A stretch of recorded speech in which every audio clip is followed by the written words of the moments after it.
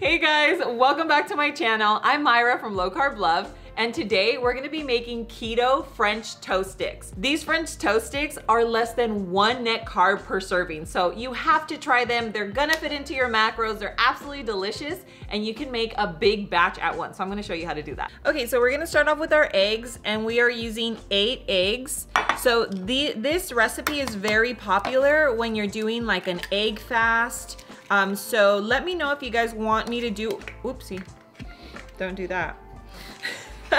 Let me know if you want me to do a step-by-step -step guide on how to do an egg fast. And an egg fast is usually used when you wanna reset, when you're getting started on keto. I mean, there's so many different reasons why people do um, an egg fast. But um, yeah, just let me know in the comments below and I'd be more than happy to film a, you know, a step-by-step -step egg fast guide. Okay, and this is eight eggs, perfection. And now we're gonna do four ounces of softened cream cheese, okay? I just put this in the microwave for a bit, but you can just leave it out while you're prepping all the rest of your stuff. And now we do a quarter cup of sweetener. I'm just gonna add everything in. Super, super simple. Honestly, that you make everything in a blender or you can even mix it. So this here is two tablespoons of baking powder. Okay.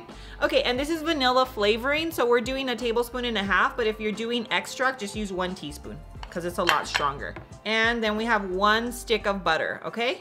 And that's obviously melted. We're just gonna put all this right in.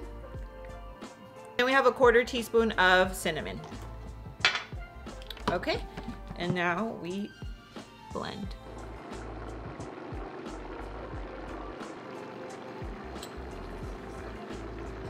Okay, so we ended up blending this for about 30 seconds. You just want it to all, you know, just be well incorporated.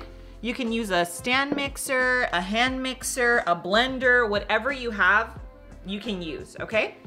Um, let me know if you've already made the egg loaf and um, so this is a traditional like egg loaf recipe, but we're making them into French toast. So let me know if you've already tried it and if you have like a special variation that you've tried that you absolutely love because this is what I, how I typically make it, but you know, I love to hear your, your ideas. We have our loaf pan and what I'm gonna do is just quickly spray it before adding our parchment paper just so that it sticks, see?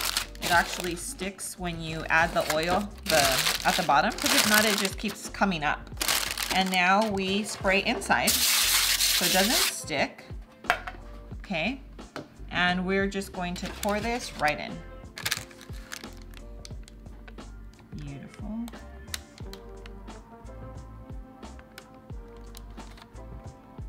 And now we're just going to spray, sprinkle a little bit of cinnamon on top.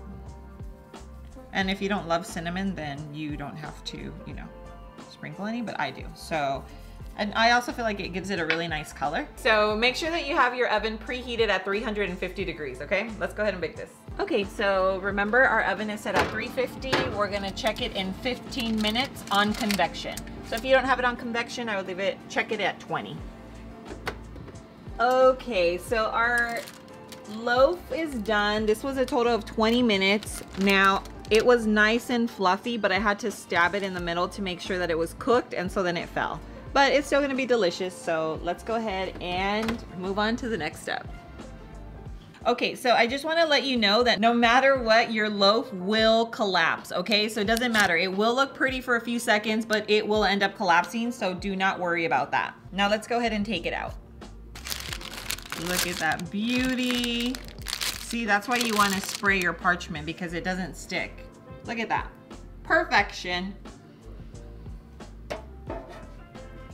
Okay, so right now we are cutting our French toast sticks, but this can very, um, very well be eaten just as a loaf. And as you can tell, I left it a tiny bit undercooked because we are going to finish cooking it stovetop and I'm gonna show you right now.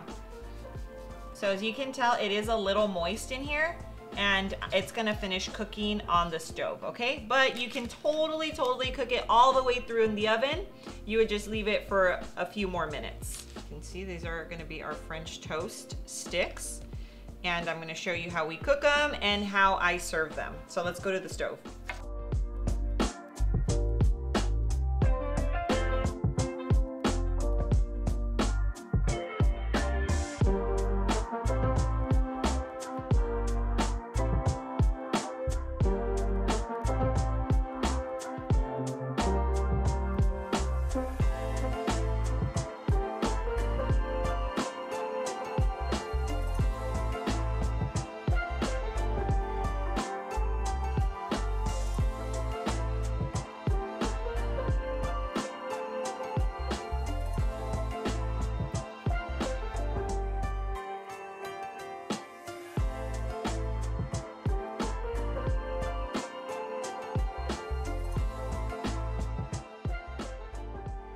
Okay, so now that our French toast is served, I'm just gonna grab a little bit of maple syrup and I'm going to warm it up because I love warm syrup. So I'm gonna heat it up for about 10 seconds. Okay, so I heated this up for about five seconds. And now, of course, let's go in for the taste test with some warm maple syrup. Oh my gosh, look at how hot that is. I don't know if you can see the steam, but I'm not trying to burn my, I'm not trying to burn my mouth. And you have some French toast sticks. Mm, mm-hmm. Mm-mm-mm. These are actually, it's like a perfect breakfast Again, you can actually make the whole loaf. You can make half of the loaf. Say you just, you don't like leftovers or whatever the case, make half a loaf and then, you know, have it for, for breakfast and share it with someone. You can actually half the recipe or make a half of a half recipe. This obviously makes about 10 French toast sticks and this is super, super filling. So you don't have to worry about like, you know, being hungry in an hour. Like this is not that breakfast. You're gonna eat and you're gonna just like move on with your day and be super satisfied because remember, we have our eggs, we have our butter, we have the cream cheese. So there's a lot of proteins and um, healthy fats in this. So yeah, this is definitely a must make, especially if you are really trying to get into ketosis. If you're new to keto, um, this is one of those breakfasts that has almost zero carbs. So that's what you're looking for when you're first starting out because um, that's how you're gonna get into ketosis a lot quicker. So yeah, this is definitely one of those recipes to try. And um, remember, if you guys wanna know more about an egg fast, let me know in the comments below. I'll be more than happy to explain how it works and this is a recipe that you can use while um, doing an egg fast. So, and don't forget to check out my blog. It's lowcarblove.com and I have most of these recipes on there so that you can print them. So they're printable recipes on there. Of course, if you still want a little bit more of me, then make sure that you follow me on Instagram and on TikTok. I'm low carb love on both and turn your post notifications on so you don't miss any of my future videos on here. Guys, I love you. Thank you so much for being here. I hope you enjoy this recipe and I'll see you on my next video. Mwah.